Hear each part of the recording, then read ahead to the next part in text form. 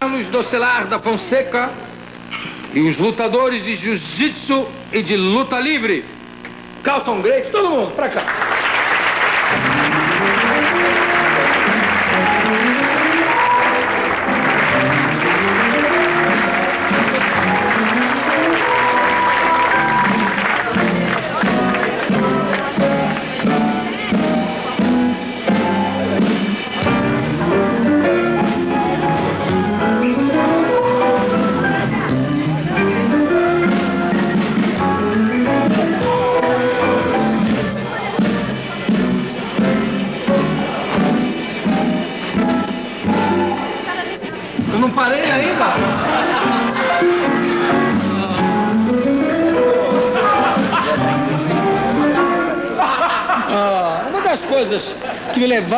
Fazer esse programa foi exatamente a possibilidade de fazer assim, vocês pararem, aí estão parando antes.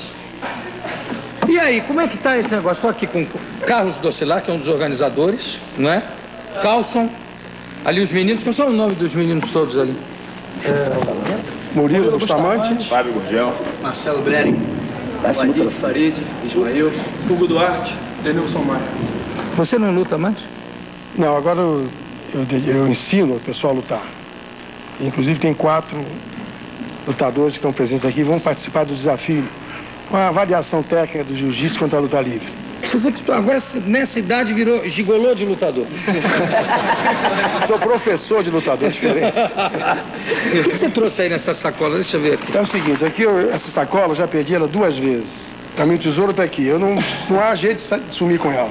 Onde eu vou, tenho que levar. Já perdi, já deu problemas. Agora não largo essa sacola de jeito nenhum. Sim, mas o que que tem nessa sacola? O que que tem nessa sacola que não pode ser perdido? O que que tem, não? Tem milhões de coisas. Tem o meu kimono, tem, tem Ah, deixa eu burro, ver a tem sacola. Eu não vou tirar, mas abre, eu quero Você ver. quer só ver, não vai dizer o que tem não? Não, não vou dizer. Ah, tem que montar Tem a troca inclusive de uma camisa de roupa. presente pra você. Tem? Tem. Então me dá. Ué. É, uma camisa bonita. É só pra perna, Jô. Só vai dar no teu braço.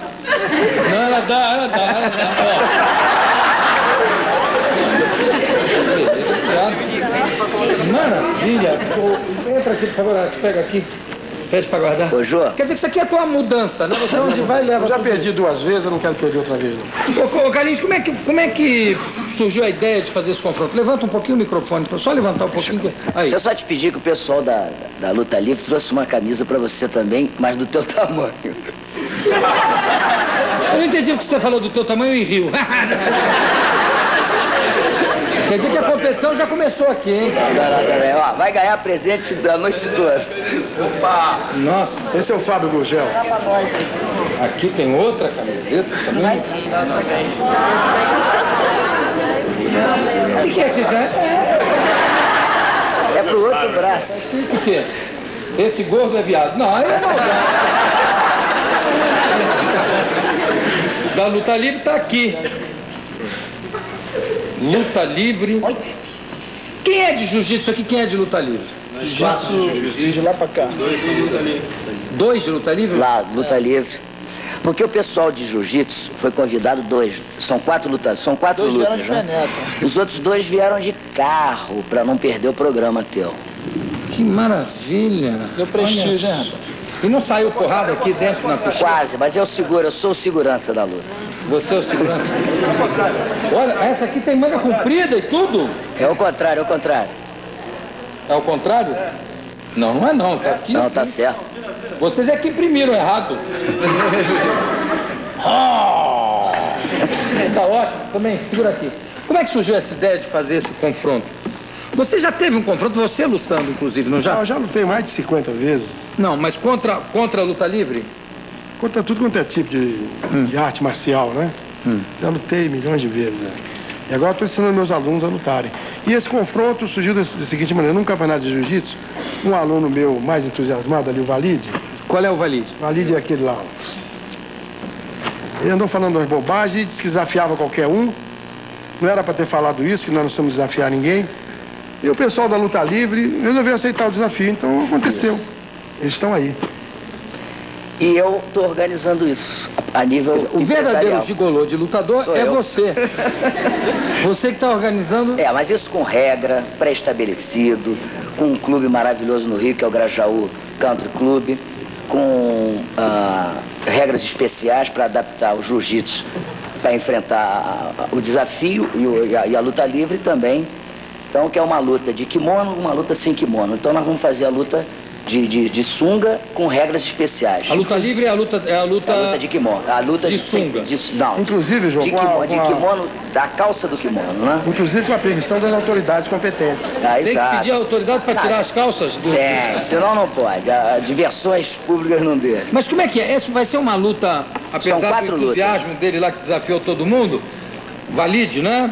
Apesar do entusiasmo do Valide, isso vai ser uma luta esportiva ou vai ser uma guerra? uma luta super esportiva, que é um desafio técnico de jiu-jitsu contra a luta livre. Avaliação E técnica. tem luta, né? aquela famosa luta do Valdemar com, com não Com sei Cássio, qual o Grace foi. Cássio. Comigo mesmo. Foi com você. Mas tinha, uma- Aquilo tinha foi uma um- luta com, com o Hélio antes, não tinha? Exato. E, Aquele foi um evento especial, mas não vai ser nada disso. é Uma Sim, mas ali técnica. foi na base do, do, do- do Tá, sangue mesmo, Foi, né? exatamente, foi. Porque o Mas Valdemar, essa não vai ser mais. o Valdemar ganhou do Hélio e você ganhou do Valdemar. Valdemar, exatamente. O Hélio já tinha. Vamos fazer um, explicar para todo mundo aqui, que nem todo mundo conhece, a genealogia dos Grace. Como é que é o negócio? Começa com o Hélio. Carlos. Começou com meu pai, ele que trouxe o jiu-jitsu aqui pro Brasil, ele aprendeu na década de 20. O Hélio Grace. Não, o Carlos Grace, que é Ah, meu o Carlos pai. Grace, teu Hélio pai. Grace é irmão do Carlos Grace. Hum. Hélio Grace é meu tio. Qual é o que só come mel com queijo hoje em É dia? o Carlos Grace, que inclusive tem uma dieta espetacular. Teve aqui, teve aqui, a gente Teve foi aqui, entrevistado, tá com aqui. que idade tá? 90? Tá com 89 anos, mais ou menos. Você não sabe direito a idade do teu pai, né? Tem tanta idade que chegar em casa vai apanhar do pai. Não decorou, Jô? Então, o, o teu pai, o Carlos, o Carlos Grace, é que trouxe os jiu-jitsu pra cá. Ele aprendeu na época, em Belém do Pará, na década de 20, com um japonês que na época era campeão mundial de jiu-jitsu. E o Hélio Grace, como é que entrou nessa? O Hélio Grace aprendeu com meu pai, todos nós aprendemos com meu pai. O Hélio Grace, que idade é, é, é mais moço que o teu pai? O Hélio Grace, se não me engano, deve ser 11 anos mais moço que o meu pai. Deve ser porque Eu acho que é. você não se dá com ele. Não, eu me dou bem com ele, sim. Hein? Como não me dou com ele? Tá querendo arrumar intimi- Não, não inimizade? sei, vai ver que ele partiu pra luta livre, aí já começou a criar uma encrenca. Qual é a diferença fundamental que existe entre a luta livre e o jiu-jitsu? Olha, eu acho que não há diferença nenhuma. Eles praticam a luta livre, porque o jiu-jitsu é um, é um apanhado de todas as lutas, entendeu? Eles praticam a luta livre sem kimono, porque o jiu-jitsu é com kimono. E tem o jiu-jitsu sem kimono, eles praticam mais sem kimono. Eles só treinam sem kimono, nós treinamos com kimono. Deixa eu perguntar pra alguém de luta livre. Lá, passa o- o. Aí. Aí tá bom. O seguinte: o... a luta livre que vocês fazem é o que depois degenera na luta livre que aparece na televisão, ou seja, aquela que é toda combinadinha, não? Não, ela não tem nada a ver com o telecast que você quer falar. Hum. A luta livre é uma luta de chão, uma luta de, tro- de troca de cintura. Tem a ver com a luta greco-romana, não? Tem um pouco a ver com a greco-romana e tem um pouco a ver com a olímpica. Sei. Mas ela foi uma luta mais adaptada para lutas de golpes traumáticos, torções, chave de braço. E vocês têm. Vocês lutam de- com a calça do kimono, é isso? É, antigamente nós lutávamos de sunga, tá? Hum. Mas hoje em dia nós lutamos só com a calça do kimono. Por que, que houve essa mudança? É porque a última vez que eu fui fazer uma excursão nos Estados Unidos, na, na, é, em Nova York, as apresentações que eu fiz lá não podia, não podia entrar de sunga. Não Ah. podia por quê? Não é que ficavam. não ficava bem entrar nas academias. Por que não ficava bem? Não sei.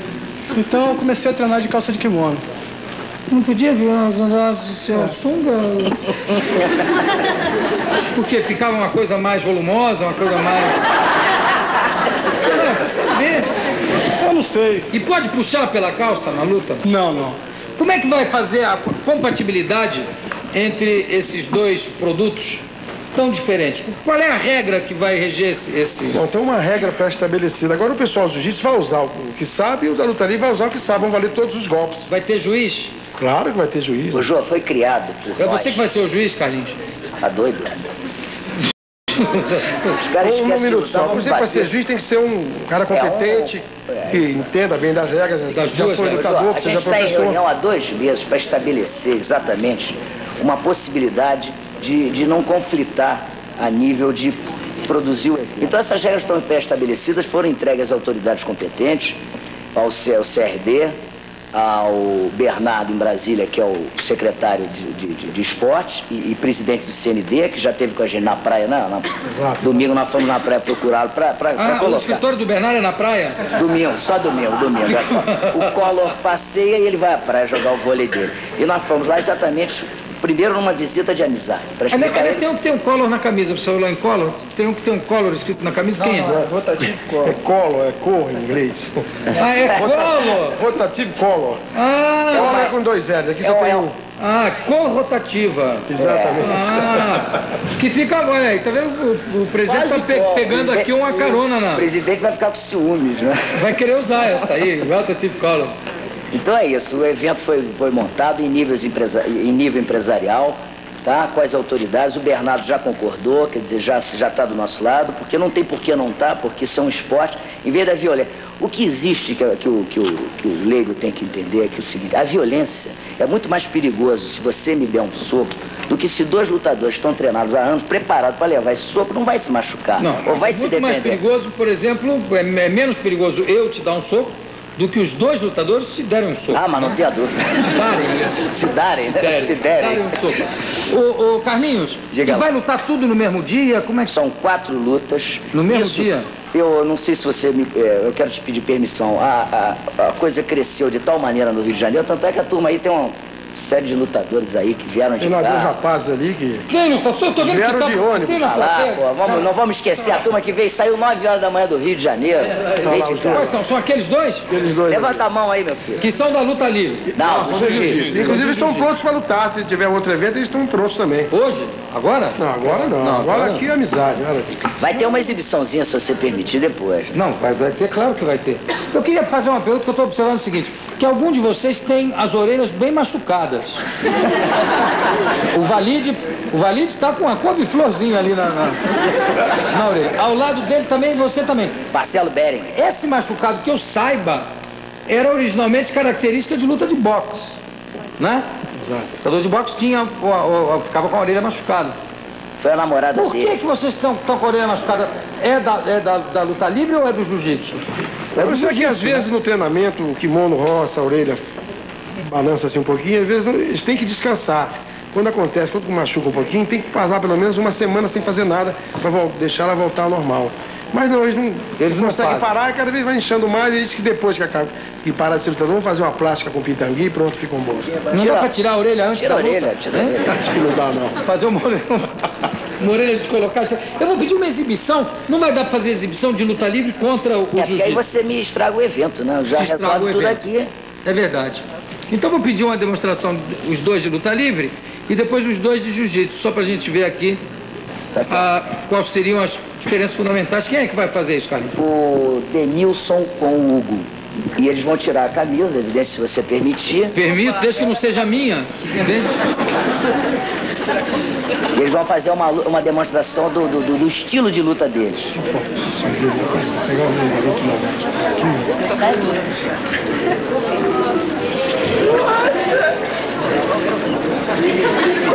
O Jô, As meninas ficaram nervosíssimas, né?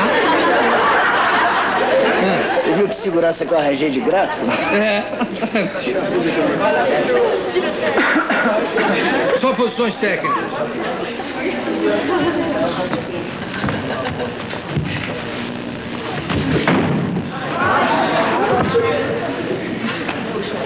Quando bate a mão aqui. Quando já bate tá a mão é pediu água. Você foi lutador na Suíça, você? Pô, craque.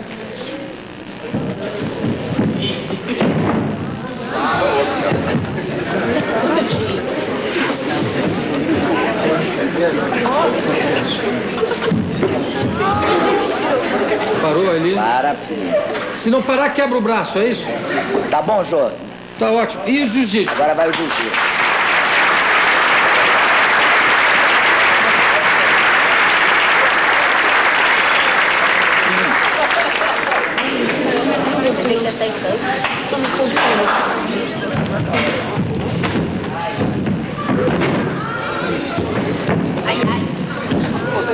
Parou. O Valide é o mais invocado de todos, É. né?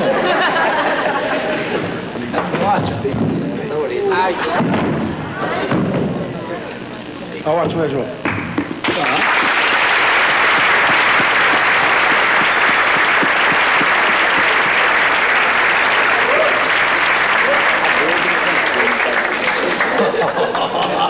Não.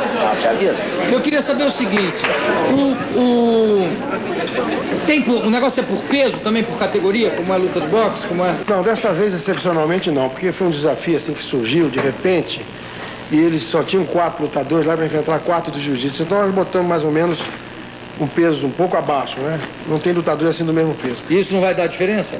Vai dar um pouco de diferença, claro, porque eles são ótimos lutadores também, lutadores de jiu-jitsu. e- Mas eu- o pessoal do jiu-jitsu está bem preparado, vão fazer boa figura. É, no caso é o seguinte, João, o pessoal de luta livre é um pouco, os- principalmente das duas, da- de, de duas lutas, são mais pesados do que os lutadores de jiu-jitsu. Jiu-jitsu. Dos, dos mais pesados do jiu-jitsu, tem uma diferença aí de uns 6 a 7 quilos, né? Chega a 10 quilos?